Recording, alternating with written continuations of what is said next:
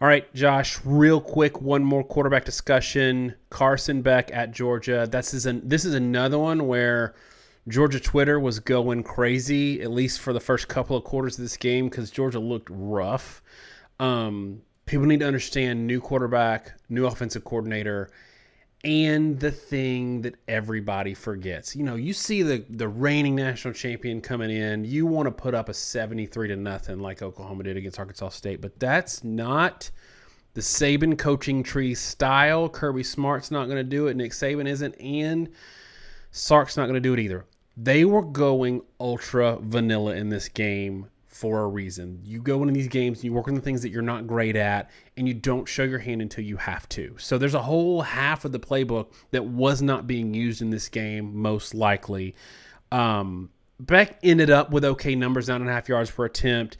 Um, nothing like Brock Vandagriff's 25 yards per attempt, but the the slight concern I had in watching this was a lot of the yards that Beck put up were YAC yards um, not even yards after catch, but a lot of times yards after contact. Um, so Brock Bowers, you know, he he get hit and then get eight nine yards after that. So I have a little bit of concern there because at some point you really need to be vertical. You can't rely on a dump off to a running back to go for 80 yards. Um, but I also think that a lot of people that aren't familiar with how Georgia operates, they're going to look at a game like I think it was like Kent State or Akron or somebody last year, like, oh, Georgia sucks. They played that game close. Georgia plays that game close because they can. When they need to go get a touchdown, they get one. Um, so, Josh, having said all that and given all that context, um, how concerned are you from watching Georgia on Saturday? I am concerned, but not overly concerned. Uh, the the biggest strength of this team was expected to be the offensive line, which still has a tremendous amount of star talent. Um, I thought they did fine. They weren't dominant.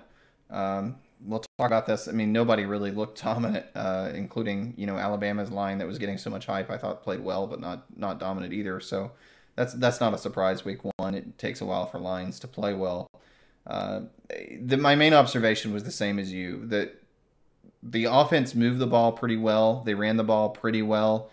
I thought they threw the ball well through Brock Bowers. They really had no answer for him. Uh, Tennessee Martin clearly had matchup issues, shockingly, with the best tight end in the country and one of the best tight ends of the last 10 plus years. Um, but outside of Bowers, they kind of struggled. And, you know, they, I'm, I'm just looking down the list right now. I mean, Bowers had five receptions for 77 yards, and the rest of the receiving corps had kind of diddly squat, right? Dominic Lovett was brought in, three receptions for 25 yards. It's like eight yards a catch. That, that's not getting it done. Uh, Arian Smith had, you know, a big play there, but Rara Thomas had one big play late. Um, but that's also the point where even Utah, uh, UT Martin's rotating in.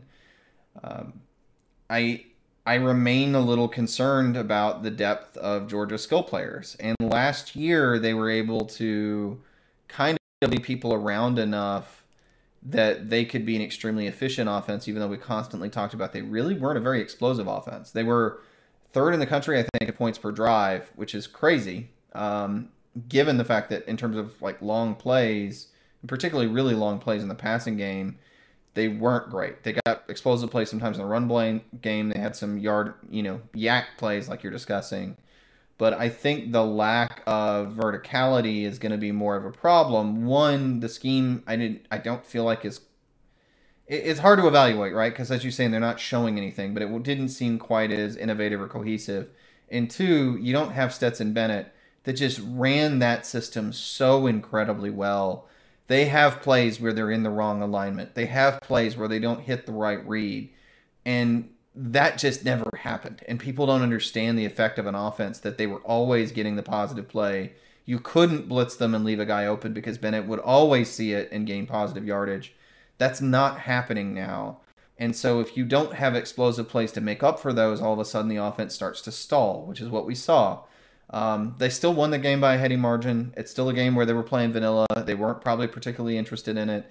I'm not going to overreact but there is some legitimate cause for concern, or at least cause for me to be paying attention to this offense. And my initial my initial take here is they're probably not going to be the third best te- offense in the country in points per drive. Now, do they need to be? Probably not. Do they need to be top ten? Probably not. Um, but it's going to be interesting to see where they're at. And honestly, I'm just going to have to see non-FS, uh, non-FCS competition in a game where they're trying to really evaluate that any further. Yeah, I think that that's the issue for me. Is like I'm not, I'm not, you know, looking at this and saying, "Oh, Georgia's amazing" or "Georgia's terrible." Defense looks really good. Like there's some things you can glean from that defense to know that it's going to be legit. But I'm not, I'm not you know, in there with the Georgia Twitter, at least in the first half, that was ready to jump off a building, um, because you know people were complaining about screens. Georgia throws through plenty of screens uh, for the last two years, winning national championships with it. So I don't think that's an issue. Um, I just think that it's it's impossible to truly evaluate a team or two teams playing one another with this much of a talent discrepancy.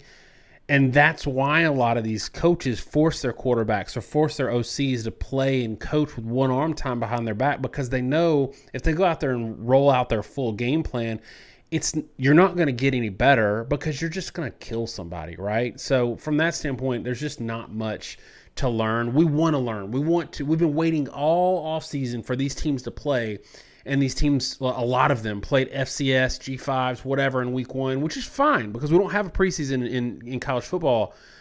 But we're trying to put way too much stock in what we see when we really know deep down that there's not much to glean from these games. Josh, anything else on this before we move on? No, I don't think so. We're just going to have to keep watching games and once we get more information the next few weeks, which is always the fun part to me, sort of getting this initial set of data and then evaluating it, reevaluating, we'll find out um, the only thing I'll add there is, you know, it's it's easy to watch these games in week one and draw a conclusion and say, well, we didn't know anything preseason, so now we know something, so now we've got to reevaluate uh, our opinion. But so often the reevaluation you make is really based off misunderstanding the opponent more than the team. Like, right, we might be really misevaluating Indiana. Maybe their defense is phenomenal. And and so I think after week one, you're there's a 50-50 shot when you change your opinion if you're overreacting the wrong way or if you're reacting the right way. It really takes two weeks minimum, more like three weeks or four weeks before you can sort of have any real sound opinion. And anyone that's jumping on anyone's throat, I personally believe at this point in the season, one way or the other in any take is probably off the wall, unless it's just totally, completely, ridiculously unfounded. Um, it's just too early. We don't know enough about teams, and we don't know enough about opponents, and yeah, that's what makes the early part of the season fun.